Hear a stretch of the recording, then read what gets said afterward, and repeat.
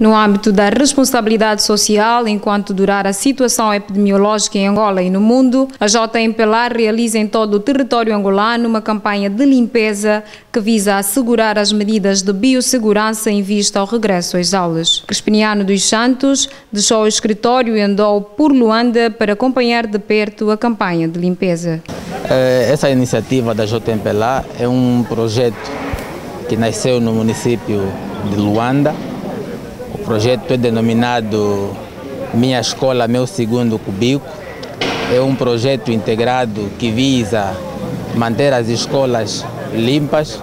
Mais de um milhão de militantes da JMPLA foram chamados a participar voluntariamente do projeto Minha Escola, Meu Segundo Cubico, a nível nacional, na criação de condições para o normal funcionamento das escolas em todo o país, auxiliando nas ações de limpeza em outras medidas tendentes à preservação da vida e da saúde dos alunos. A JMPLA está a levar a cabo este programa a nível dos 164 municípios e com um envolvimento direto de mais de um milhão de jovens militantes da JMPLA e não só. Crespiniano dos Santos disse que o projeto Minha Escola, Meu Segundo Cubico é de caráter permanente e que só vai cessar no intervalo do ano letivo. A princípio é projeto permanente, que só vai cessar no intervalo dos anos letivos. Quando começamos um ano letivo, também começa-se a implementar este projeto, porque os alunos precisam de orientação eh, patriótica, precisam de orientação voltada ao voluntariado juvenil.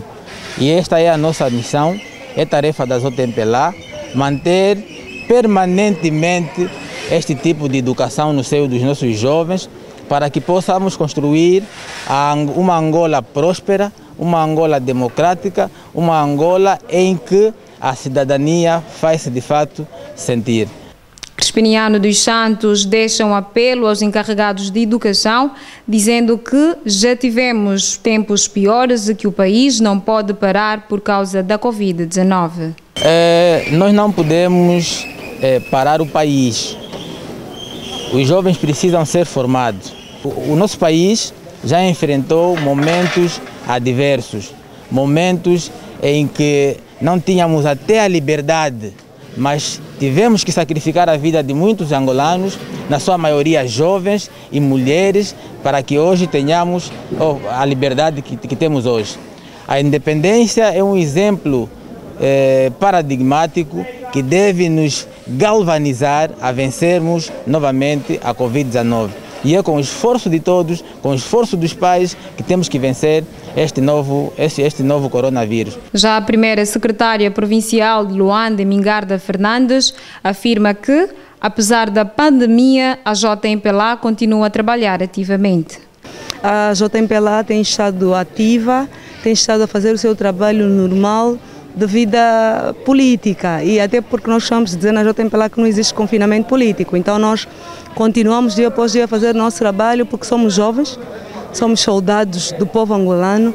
E a nossa missão é sempre trabalhar em prol do desenvolvimento do país e também para o bem-estar da própria juventude. É um projeto muito vasto e ambicioso que nós nos incumbimos ser os maiores parceiros do Ministério da Educação a nível local, dos nossos distritos, nossos bairros, nossas comunas. E se cada jovem a nível do nosso país ter um pensamento sustentável, um pensamento voltado a resolver os problemas dos outros jovens, vamos de facto eh, colocar Angola e os angolanos na rota do desenvolvimento. A campanha tem como objetivo geral a criação de condições sanitárias nas escolas, a doação de material de biossegurança, palestras e workshops com vista a formar ativistas de saúde para garantir o normal e adequado funcionamento das instituições de ensino, perspectivando o bem-estar dos estudantes.